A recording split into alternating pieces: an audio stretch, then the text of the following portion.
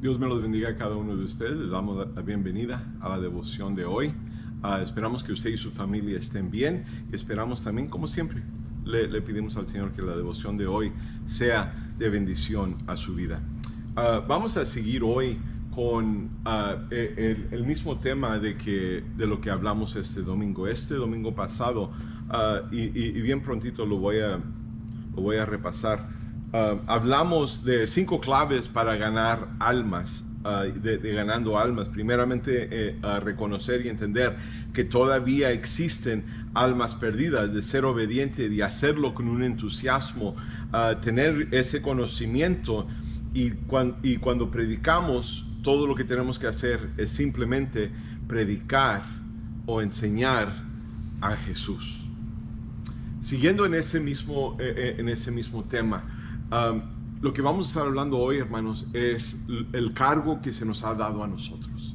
Y ese cargo que se nos ha dado a nosotros para hacer exactamente eso, para ganar las, esas almas, es y se llama uh, la Gran Comisión, the Great Commission. Se nos ha dado y se nos dio esa gran comisión, hermanos, por medio de nuestro Señor Jesucristo. It was our Lord Jesus Christ that gave us that Great Commission. Él es el que nos dio esa gran comisión.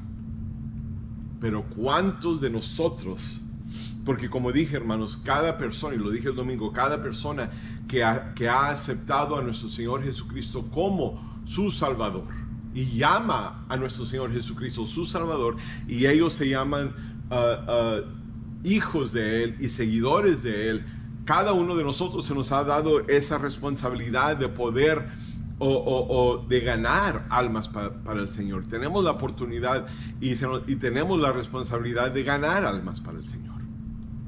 Esa gran comisión, hermanos, se nos ha dado a nosotros. Pero mi pregunta es esta. ¿Cuántos de nosotros hemos tomado ese llamado de la gran comisión y hemos dicho, sí, yo lo voy a hacer? Porque hay muchas personas que son salvas, aceptan al Señor como su, en su corazón, llaman a nuestro Señor Jesucristo como su Salvador, dicen que son cristianos, dicen que son hijos de Dios, dicen que son seguidores de Cristo, pero no quieren nada que ver con la gran comisión. No, no, no, no, eso no es para mí, eso no es. Y dan excusa tras excusa tras excusa. No, no, no, yo no, yo no, es que yo no tengo las palabras, no tengo el tiempo, uh, yo no sé qué decir, yo no sé qué hacer, yo soy muy joven, yo soy muy, muy, muy, muy, muy anciano, ya tengo mucha edad, o no puedo, no, es que mira eso y aquello, y que, y excusas. Excusas. Perdónenme, hermanos, si, si como, dicen, estoy, en inglés se dice stepping on toes, uh, uh, soy, estoy pisando eh, so, so, sobre los, los, pies. Pero, hermano, es verdad. Es una verdad y yo, yo siempre voy a decir la verdad. Cada uno de nosotros, hermanos, se nos ha dado esa carga, la gran comisión. Pero ¿cuántos de nosotros verdaderamente lo hemos tomado y hemos dicho, sí, yo lo voy a hacer? Yo lo voy a hacer. En Mateo capítulo 28, versículos 16 al 20, lee, lee de esta manera, dice, entonces a los once discípulos, entonces los once discípulos salieron hacia Galilea y se, y se, dirigieron al monte que Jesús les había indicado. Cuando vieron a Jesús, lo adoraron, pero algunos de ellos, dice ahí hermanos, dudaron, dudaban. Jesús se acercó y les dijo a sus discípulos, se me ha dado toda autoridad en el cielo y en la tierra. Por lo tanto, vayan y hagan discípulos de todas las naciones, bautizándolos en el nombre del Padre, del Hijo y del Espíritu Santo. Enseñen a esos nuevos discípulos a obedecer todos los mandatos que yo les he dado. Dice, y tengan por seguro esto, que yo estoy con ustedes siempre hasta el fin del tiempo se nos ha dado esa gran comisión. Vayan por todo el mundo y prediquen. Ahora, muchas personas dicen, ay, pastor, pero ¿cómo es posible? Yo tengo mi trabajo, yo tengo mi familia, yo tengo mi casa, yo tengo todo eso. ¿Cómo, cómo quiere Dios que, yo vaya al otro lado del mundo? Que yo vaya a China, que yo vaya a, a, Europa, que yo vaya a México, que yo vaya a Sur y Centroamérica, que yo vaya a otra nación y predique eso. Ok, está bien. Si usted no tiene el llamado, hermano, de ser misionero, no vaya. No lo tiene que hacer. Pero el mundo que lo rodea a usted, hermano, ese es su mundo. Ese es su mundo, como lo mencionamos el domingo, sus vecinos, sus compañeros de trabajo, aún hermano, su mundo más cercano, su familia. Ese es el mundo. Ese es el mundo. Eso, hermanos, es el campo misionero suyo. That is your mission field. The world that surrounds you, el mundo que lo rodea, eso es su campo misionero. Especialmente, hermanos, si usted está rodeado por personas que no conocen al Señor. Si nadie de sus vecinos conoce al Señor, hermano, ese es su campo misionero. Si ninguno de sus compañeros que usted trabaja con conocen al Señor, ese es su campo misionero. Y me quebra el corazón aún decir eso si aún usted tiene familia, familiares que no conocen al Señor. Ese es su campo misionero. Se nos ha dado este cargo, hermanos. Pero iremos. Iremos.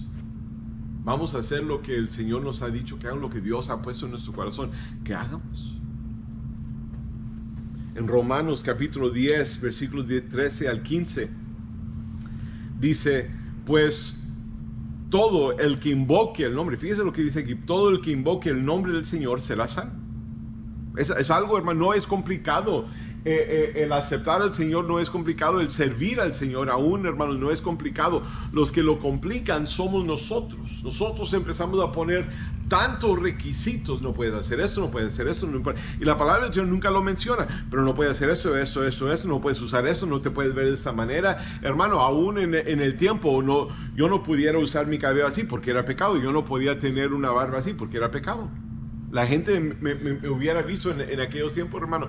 Eh, yo, yo, estoy hablando como hace 50, 60 años atrás. Y mira, ay, ay, ay, este hombre, ay. Aún, hermano, de entrar, que un pastor usara pantalones de mezclilla. Oh, no, eso es pecado. Pero ¿dónde lo dice la palabra del Señor? Por eso le digo, hermano, nosotros somos los que complicamos.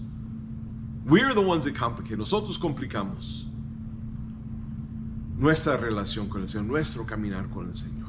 Y dice aquí simplemente, hermanos, dice, pues todo el que invoque el nombre del Señor será salvo. Será salvo. Dice, pero ¿cómo pueden ellos invocarlo para que los salve si no creen en Él? ¿Y cómo pueden creer si nunca han oído de Él? Y luego dice, ¿y cómo pueden oír de Él a menos de que alguien se los diga. ¿Y cómo irá aquel que a contarles sino ser enviado?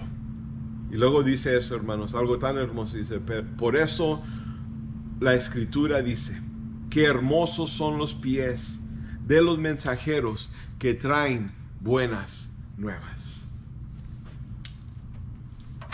Hemos sido llamados, hermanos, para compartir la palabra del Señor. Hemos sido llamados para predicar la palabra del Señor. We're called to share the word. We're called to preach the word. Nosotros somos esos mensajeros y nosotros tenemos, hermanos, las buenas nuevas. Nosotros tenemos la respuesta para ese mundo que se está muriendo diariamente sin Dios. Y especialmente hoy en día, hermanos, con todo lo que ha estado pasando, hay personas que se están muriendo diariamente, pero ¿cuántas de esas personas conocen a Dios?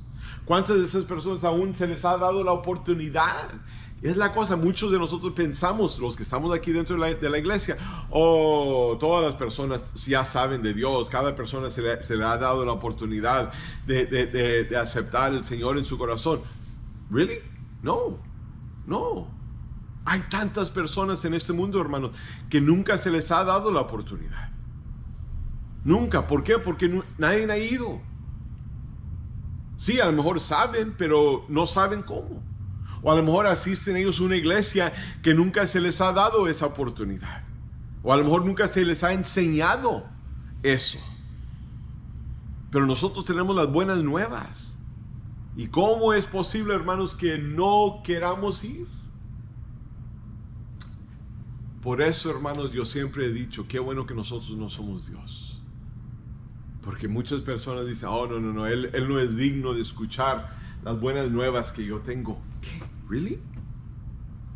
Miramos a la persona y cómo se ve y lo que tiene en su piel y lo que, you know, lo que tiene aquí en, su cara, en, los, oídos, en su piel, todo. Ay, no, no, no, no, no, no, no. Dios no puede sanar y salvar a alguien así. ¿Por qué no? Dijo Jesús que por eso Él había venido para salvar lo que estaba perdido. ¿Y quién somos nosotros ahora para decir que ellos no, eh, ellos no son dignos? Que ellos no son dignos aún de entrar y sentarse aquí con nosotros. Ay, pero pastor, mire lo que tiene en su pie. ¿Y qué? Son almas perdidas, hermanos. Eso es lo que Dios ha venido a salvar. Eso es lo que Dios ha venido a rescatar. Eso es exactamente lo que Dios ha venido a hacer.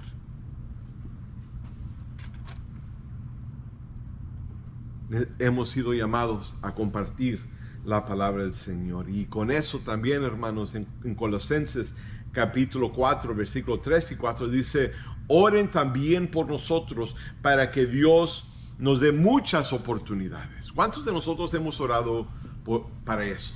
Señor, dame muchas oportunidades hoy para compartir. No, no, no, pastor, yo no puedo hacer eso porque mi día es tan ocupado. My day is so busy, I can't do that. Yo no puedo hacer eso. Hermano, eso es lo que debemos estar haciendo. Yo sé que cada uno de nosotros trabajamos y ustedes, yo sé que ustedes trabajan mucho más uh, que yo físicamente y todo. Pero hermanos, tenemos que decir al Señor, Señor, dame oportunidad hoy de compartir tu palabra. Dame muchas oportunidades hoy de compartir tu palabra. Pero les voy a explicar algo en, en, un momentito. Dicen, una vez más lo voy a leer. Dicen, ore también por nosotros para que Dios nos dé muchas oportunidades para hablar de sus misteriosos planes acerca de Cristo. Por eso estoy aquí en cadenas. Dice, ore para que pueda uh, proclamar ese mensaje con la claridad que debo hacerlo. Hermanos, el mundo necesita no nomás escuchar el mensaje, pero necesita ver el mensaje.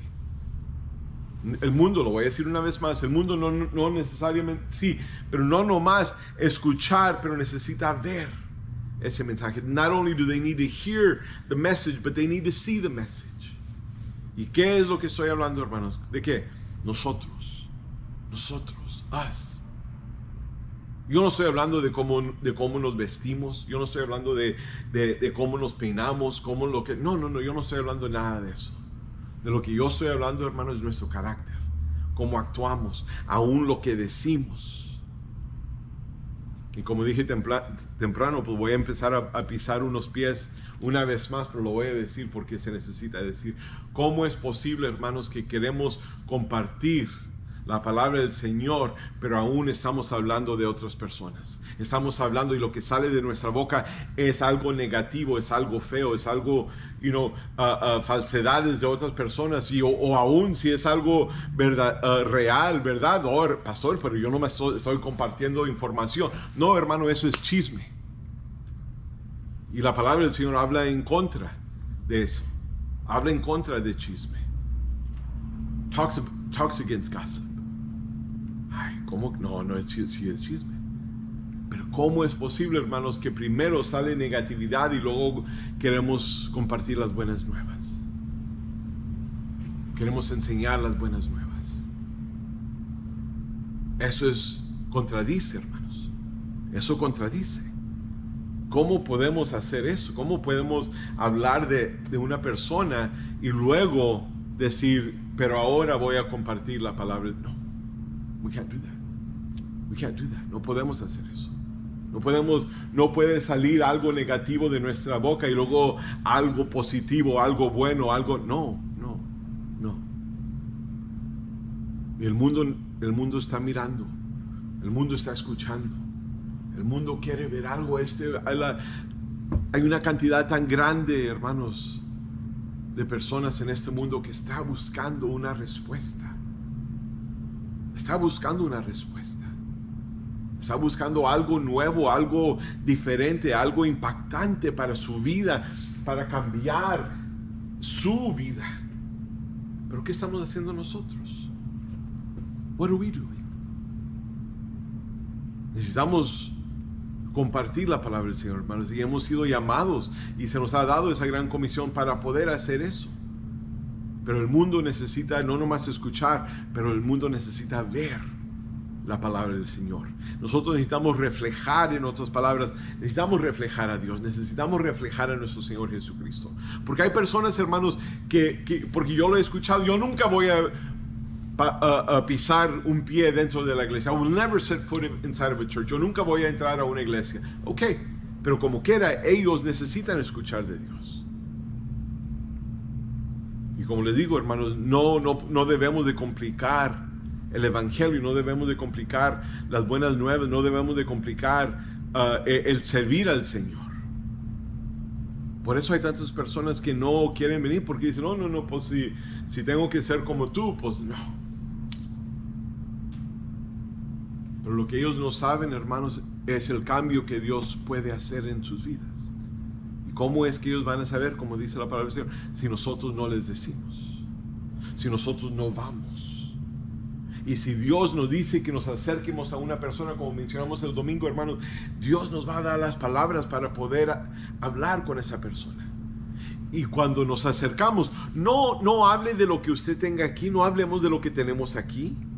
Ah, no, pues mira, yo tengo algo bueno para decirle porque yo, yo ya lo he... No, no, no, no, no. Deje que Dios hable por medio de usted. ¿Sabe por qué? Porque si Dios le está diciendo que usted se acerque a una persona, es que Dios tiene un mensaje para esa persona. No lo que usted le quiere decir, pero lo que Dios le quiere decir. Póngase usted en las manos de Dios y dígale Dios, Dios tú úsame. Dios tú habla por medio de mí. Tú dame las palabras para, para poder tocar y cambiar impactar la vida de esta persona pero para tu honra, como dijimos el domingo, para tu honra para tu gloria. So hemos sido llamados, hermanos, hemos sido llamados para compartir la palabra del Señor, para predicar esa palabra. El mundo necesita escuchar y ver esa palabra.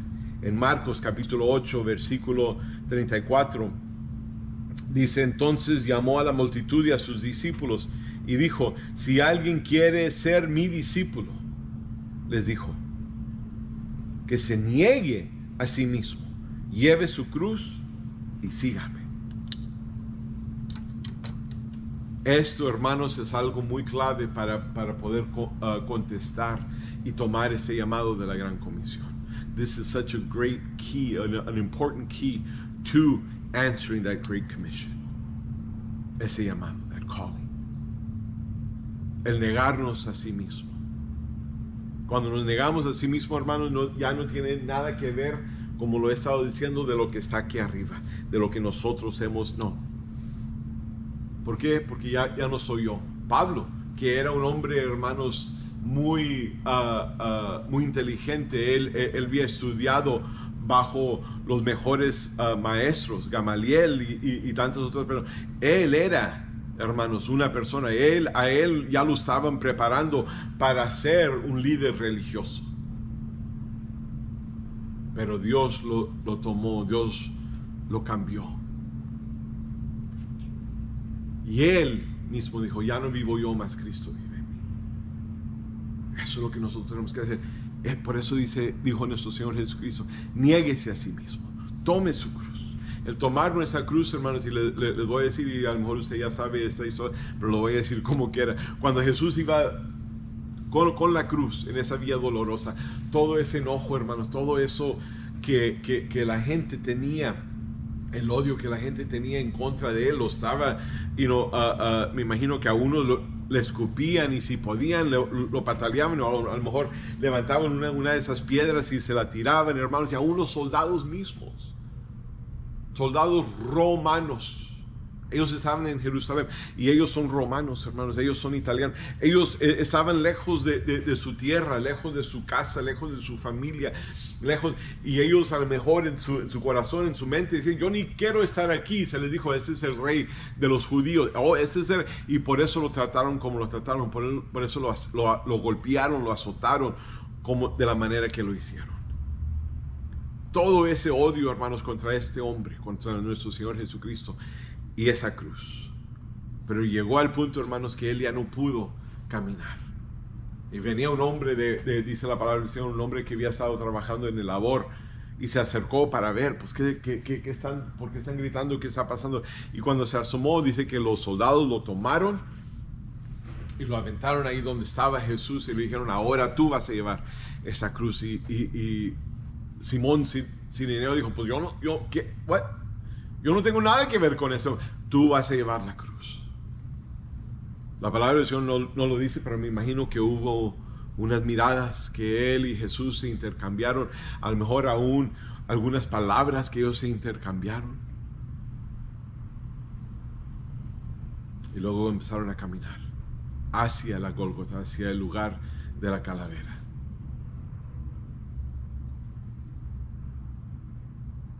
Pero todo ese odio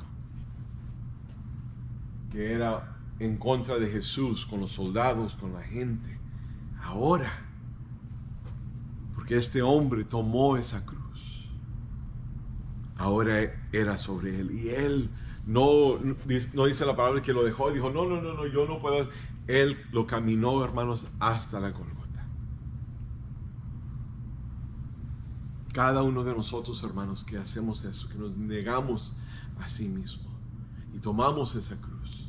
Hay personas, hermanos, que han tomado esa cruz sin negarse, sin negarse. Por eso la dejan, por eso se, regresan al mundo, por eso dicen, no, no, no, yo no puedo con todo eso, yo no, yo, no puedo que el mundo me odie, que, mis amigos me odien, yo ya no puedo con todo eso en contra de mí. Por eso, ¿por qué? Porque nunca se negaron y están, y están tratando de tomar esa cruz con sí mismo, con su propia fuerza, con su propia inteligencia, con todo. Por eso, hermanos. Por eso hay personas que no duran en el Señor, por eso hay, creyentes que aceptan al Señor, toman esa cruz, pero nunca se han negado a sí mismo. Por eso nos dice, niéguese a sí mismo, tome su cruz. Y luego dice, entonces sígueme. Y esto, hermanos, es una parte tan clave, tan clave de tomar a sí mismo esa gran comisión porque sabemos y empezamos a, entender que lo que estamos haciendo no es de sí mismo y no es para nosotros mismos, pero lo estamos haciendo primeramente para la honra y gloria de Dios. Y es ese, Dios todopoderoso que nos da la fortaleza, es, es el Espíritu Santo que habla por medio de nosotros de lo que hizo nuestro Señor Jesucristo por nosotros y por ellos.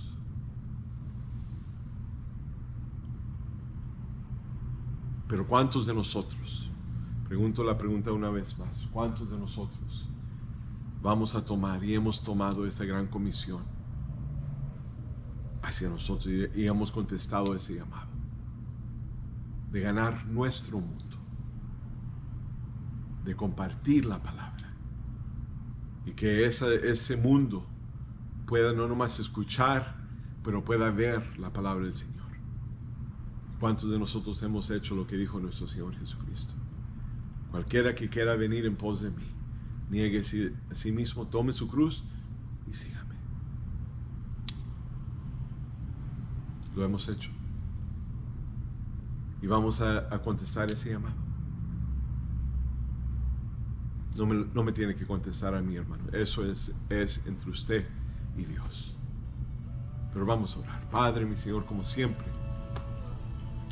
alabamos y glorificamos tu nombre, mi Señor. Te damos gracias por este hermoso día que nos has dado. La oportunidad, mi Señor Santo, de poder vivir y hacer algo grande y poderoso para ti, mi Señor, con tu ayuda y para tu honra y para tu gloria. Pero te doy gracias, mi Señor Santo, por dan, darnos este, eh, este llamado, esta gran comisión. Perdónanos, como dijimos el domingo, mi Señor Santo, si, si no hemos hecho lo que, lo que debemos de hacer. Perdónanos si no hemos hecho lo que debemos de hacer pero ayúdanos para poder hacerlo. Y si no hemos contestado y tomado este llamado hacia nosotros, perdónanos también, pero ayúdanos a poder hacerlo. Que podamos tener ese deseo dentro de nosotros para poder ganar estas almas. Y podamos ver este mundo con tus ojos, amar este mundo con tu corazón. No el mundo, pero las personas. Y te doy gracias, mi Señor. Te doy gracias por todo lo que has hecho en nuestras vidas, pero te doy gracias por lo que tú vas a hacer en aquellas almas que tú vas a traer a nuestra iglesia, te pido por mis hermanos que tú obres en ellos de una manera tan hermosa, tan grande, tan poderosa. Que ellos puedan empezar a ver tu, tu Espíritu Santo moverse en ellos, hablar por medio de ellos, manifestarse en ellos. En el nombre, una vez más, en el nombre poderoso, maravilloso y único de nuestro Señor Jesucristo. Toda la honra y toda la gloria es y siempre será para ti. Gracias te damos por todo. Amén. Hermanos, muchas gracias como siempre por tomar el tiempo de poder ver y escuchar este, esta devoción. Esperamos que, haya sido de bendición.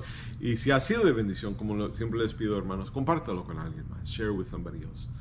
Ah, como siempre, hermanos, le pedimos al Señor que usted tenga un resto de semana bendecido y victorioso. Y aquí nos vemos una vez más este domingo. Ah, si puede estar con nosotros, hermanos, gloria a Dios, porque nos, llena de gozo cada vez que los podemos ver aquí en la casa del Señor.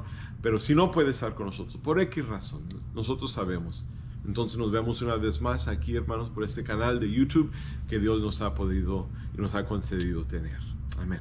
Uh, como siempre, hermanos, nos amamos con nuestro corazón y que el Señor los bendiga. God bless you.